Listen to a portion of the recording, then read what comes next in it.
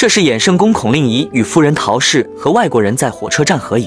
孔令仪头戴瓜皮帽，身穿长袍，外套马褂，个头着实不矮，比旁边的外国男子还要高。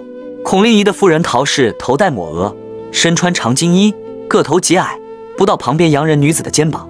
作为晚清最后一位公爵夫人，陶氏的能力着实不一般。丈夫孔令仪去世后，陶氏开始掌管孔府事务，且井井有条。孔府的仆人说，陶氏夫人与慈禧太后不仅容貌极为相似，性格还非常相似。